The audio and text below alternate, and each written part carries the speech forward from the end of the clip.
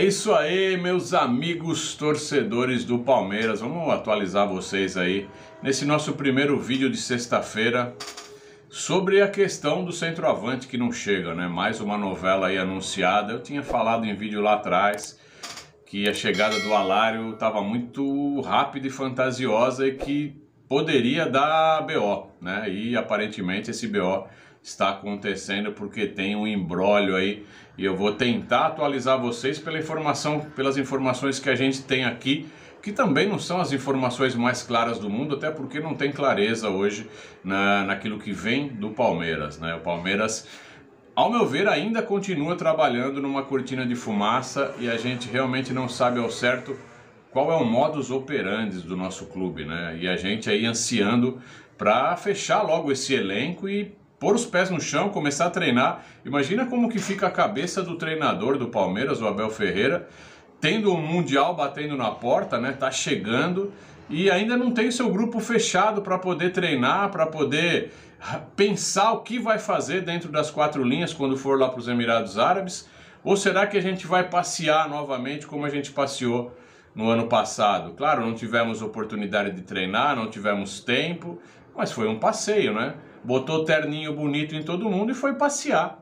E eu acho que não seria legal a gente ir passear novamente, né? Infelizmente, é, o Palmeiras que venceu competições importantíssimas no ano passado, encheu os cofres com muito dinheiro, né? Duas premiações de Libertadores, premiação de Copa do Brasil, é muita grana envolvida. Só o Abel ganhou mais de 500 milhões aí para o Palmeiras eu fico imaginando, e se o Palmeiras não tivesse ganho nada de, de, de competição? O que é totalmente natural num, num, clube de futebol. Poderíamos não ganhar nada, passar em branco.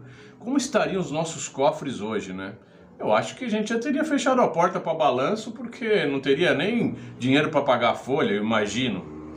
Então fica uma situação bastante complicada, né? A gente tem que ter paciência, tem que ponderar tudo, mas parece que o imponderável se sobrepõe até ao racional, né?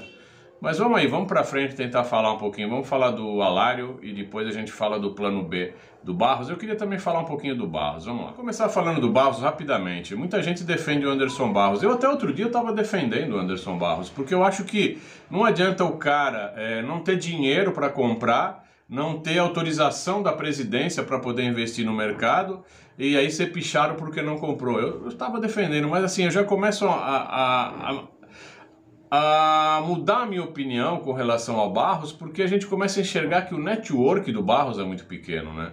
Ele não tem contatos bacana, contatos mais efetivos, ele não tem é, um pool né, de agentes é, aonde ele possa trabalhar com mais tranquilidade. Então, assim, ele fica muito dependente do que é oferecido, fica muito dependente é, de uma limitação de contatos, é, ele é muito fechado para o mercado, vamos dizer assim, né? Então, muita gente está defendendo o Barros, falando, pô, mas o Barros ganhou duas Libertadores. Mas não ganhou duas Libertadores. Quem ele contratou que figurou dentro da Libertadores? Se a gente pegar todo o elenco da Libertadores, que ganhou as duas Libertadores, que ganhou a Copa do Brasil, quem dentro deste elenco foi contratado pelo Anderson Barros?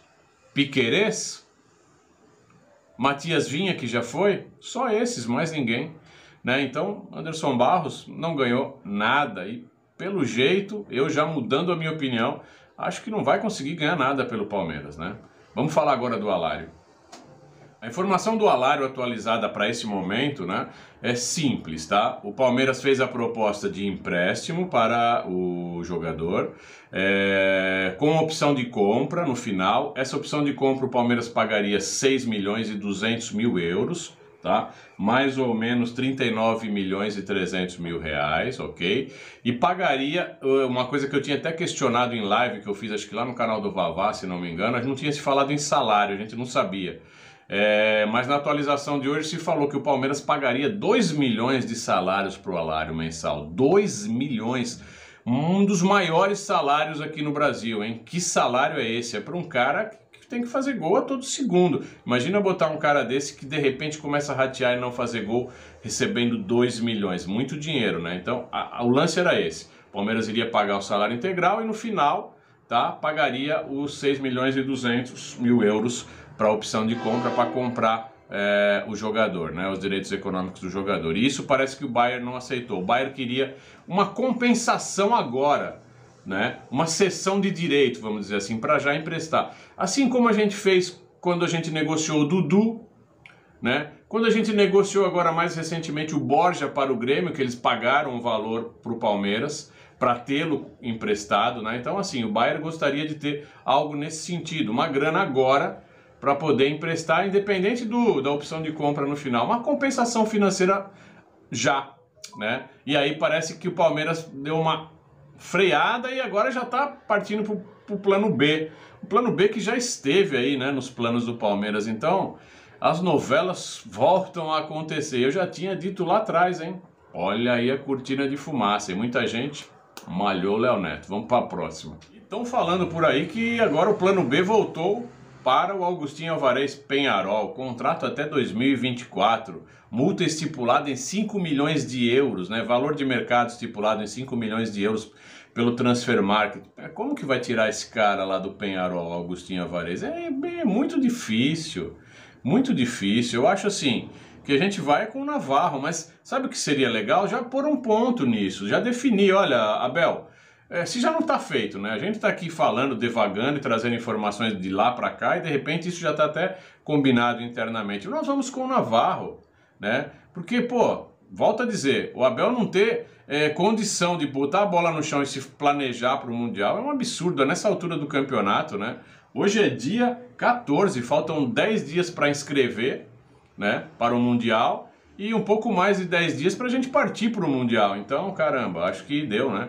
Eu, sinceramente, não tenho mais esperança da gente contratar ninguém a nível de centroavante, ninguém, nenhuma peça a mais para compor, esse, compor esse elenco aí que vai para o Mundial de Clubes. Essa é a minha opinião, humilde opinião, e graças a Deus tenho acertado aí nas minhas opiniões, mesmo sendo contrárias ao que eu quero e ao que eu pretendo e ao que eu torço, que é o centroavante no Palmeiras. Mas que bom que eu tenho acertado, pelo menos eu venho com a cabeça sã, mente sã, corpo são para trazer informações coerentes para vocês, tá legal? Vamos continuar na torcida, mas acho bem difícil hein, nessa altura do campeonato.